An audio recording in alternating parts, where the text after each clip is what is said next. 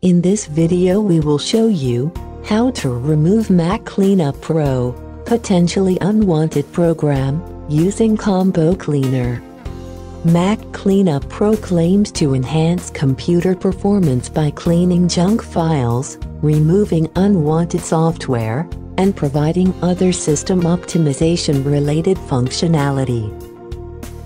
Mac Cleanup Pro is promoted using two methods, bundling, in example, fake flash player update, and intrusive pop-up ads that redirects to malicious websites. Mac Cleanup Pro starts automatically on each system startup and performs a computer scan. After a quick scan, Mac users are presented with a list of errors, including reports about cache files, system logs, trash folder, and rogue apps. Scan has completed. Warning, issues have been detected that need your immediate attention. Click on Clean Now to fix these issues. Mac Cleanup Pro's free version is supposedly unable to carry out this task. To resolve this, users are encouraged to pay for the full version. Despite these warning messages shown by Mac Cleanup Pro, your system is probably optimized and error-free. This application is showing intrusive messages in order to generate revenue for its developers. To remove Mac Cleanup Pro unwanted application, visit combocleaner.com. Download and install antivirus for Mac. Double-click Combo Cleaner DMG file to mount it.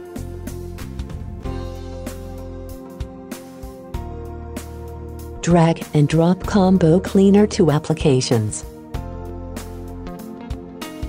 When installation finishes, close all windows and open your Launchpad to start Combo Cleaner.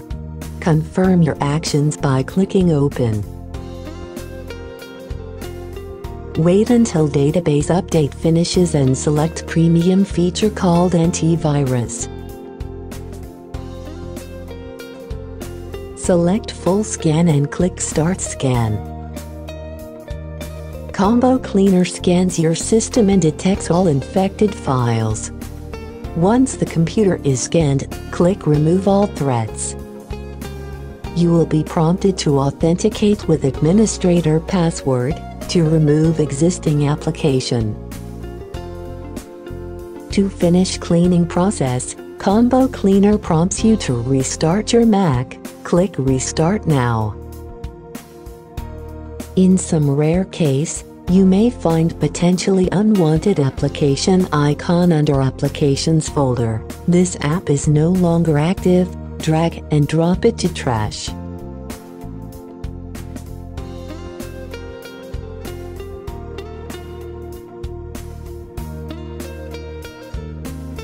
Thank you for watching.